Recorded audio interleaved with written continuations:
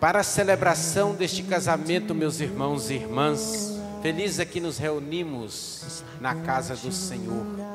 No dia em que estes nossos amigos Tiago e Larissa resolveram estabelecer o seu novo lar.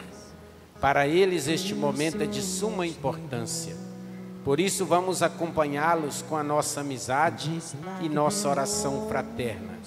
Unidos a eles, ouviremos atentamente a palavra que hoje Deus nos dirige.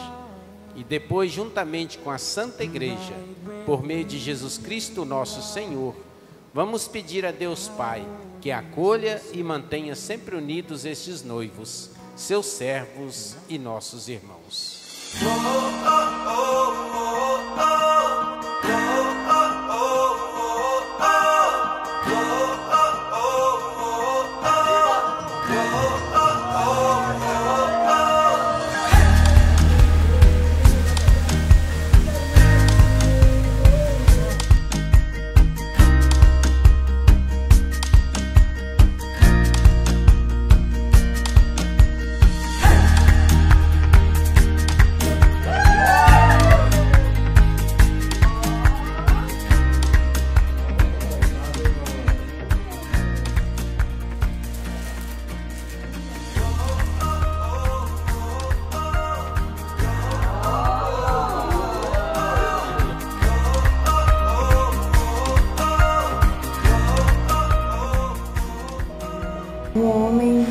carinhoso, que me dá valor, que me respeita, um homem de Deus e muito trabalhador. E assim, só admiração mesmo que eu tenho por ele. Meu amor, estou aqui muito ansiosa pelo nosso grande momento, tão esperado em nossas vidas, e que tudo seja perfeito, maravilhoso, e não vejo a hora de estar no altar para te encontrar.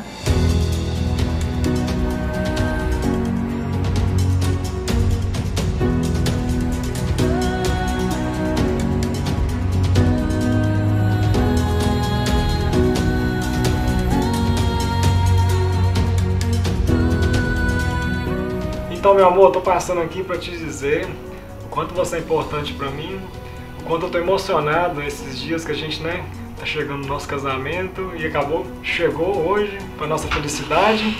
E queria te dizer que você é muito importante para mim e você é o amor da minha vida. E agradeço muito a Deus por tudo que tem acontecido em nossas vidas, pois você é a base de tudo para mim e que eu amo muito você. Porque a partir do momento que se unem, a alegria de um será a alegria do outro a tristeza de um será a tristeza do outro.